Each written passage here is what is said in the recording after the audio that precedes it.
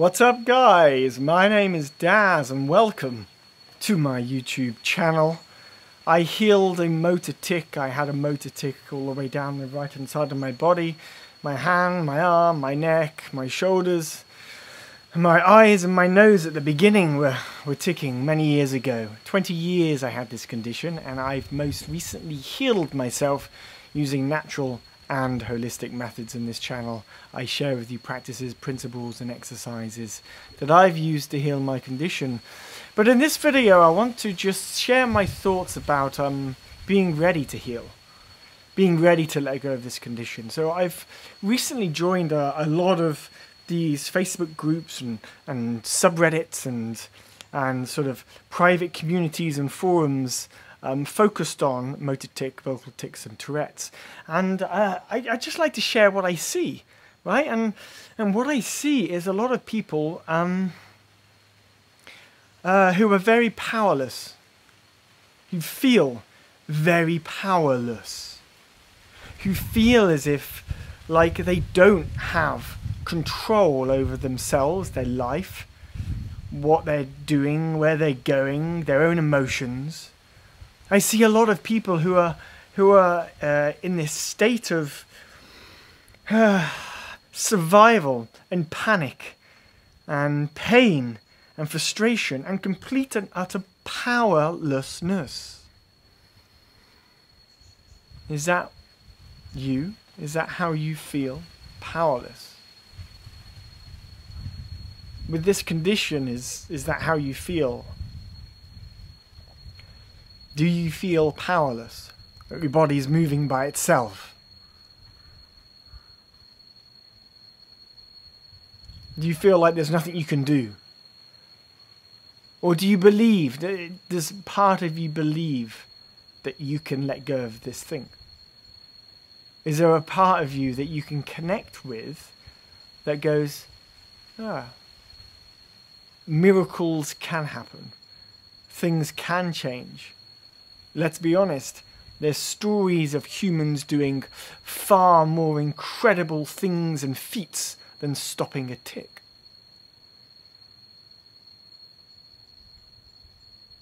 On one side, it, it pains me and it hurts me to see so many adults and teenagers in pain from this condition. Because I know I've been there. But at the same time, I feel frustration that you don't see the power that you have to create your life and create your body and change things. If your body is ticking by itself and doing things or moving here or your hands going like this or your neck's going like this or your eyes going, doesn't matter like what it is. If your body's moving by itself, there's a part of you inside, deep inside you, that's choosing to do it. There's a part of you that's making those movements happen. There's a part of you doing that.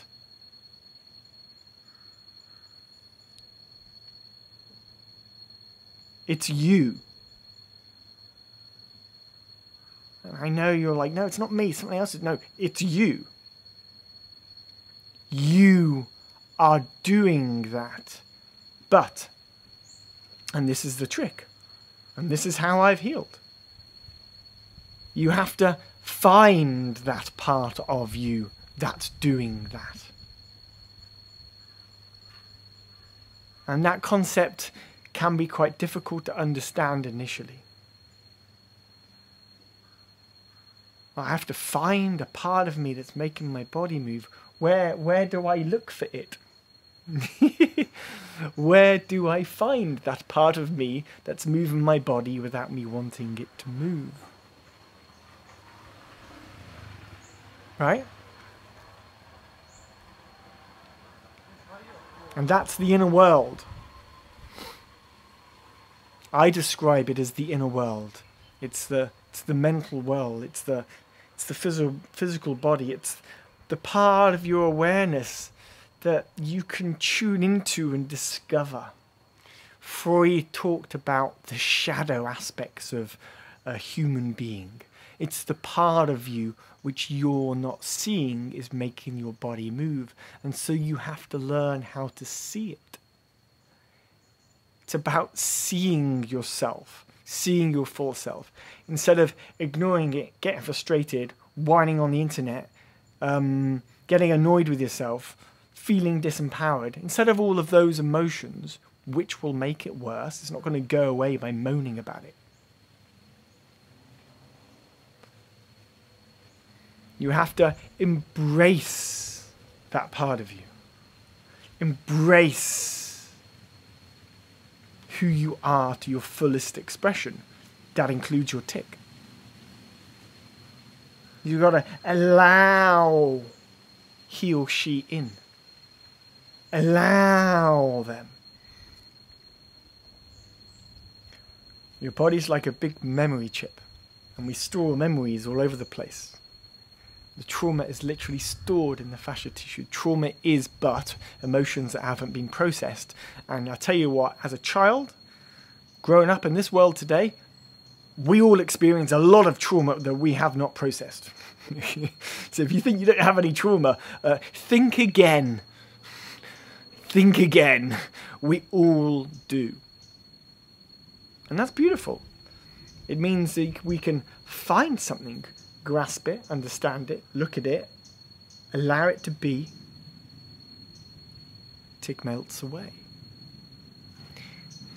This is this, this is these are concepts that I've used in healing my motor tic, and uh, it might feel a little bit metaphorical, um, but literally your reality is one big metaphor. Your body is created based on what you do over and over again, your habits over and over again, right? If you become really good at moving your body in a certain way, your your your the energy of those parts of your brain and that circuitry becomes hypersensitized. You know, those of us who have a motor tic are are you know, highly sensitive beings. We uh, we like for for some reason our our our feeling and touch, our inner world is is like it's alive, and that's the part of us that that uh, expresses when we are uncomfortable for some reason and when we are uncomfortable for some reason, and that keeps happening this again, again, again, again, then the tic gets worse and worse and worse. we have to understand the root cause of this tic. Enough of the powerlessness. This motor tic, vocal tic, even Tourette's, because that's what Tourette's is, is just like uh, both of those things together. I myself only had a motor tic, so one could argue it's slightly less severe than full on Tourette's, right? but still, the same techniques and attitude resonate with with all of these, whether it's vocal tic, motor tic, or Tourette's, nervous twitch. It's all the same stuff. It's part of you. You, you, you, you, you. It's part of you. Your tic is you. Listen to, listen to him or her. Understand him or her. Understand why it's happening. Still the mind. Listen to what's going on. The tic is part of you, and it's up to you to find out why, what's going on, what does the tic represent in this holographic mind, this multi-dimensional experience we are playing out as a human on this planet. You have the potential to stop this tic. Stop acting so powerlessly.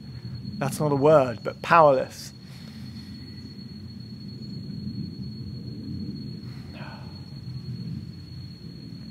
Good.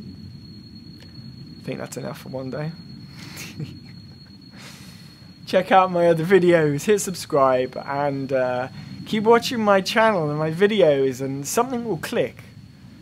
Something will click, and when it clicks, you'll go, oh, oh, and then you'll have this intuition, this insight to, to do something, to act on something, to, to hear the, the thoughts that are streaming in to you whilst you're listening to me, and, and, and, and hear them hear them. Okay. Peace out, brothers and sisters. We'll chat again soon. Have a wonderful day. Say hi to your tic. Love every part of your being, and you can heal this condition. I've done it. You can too.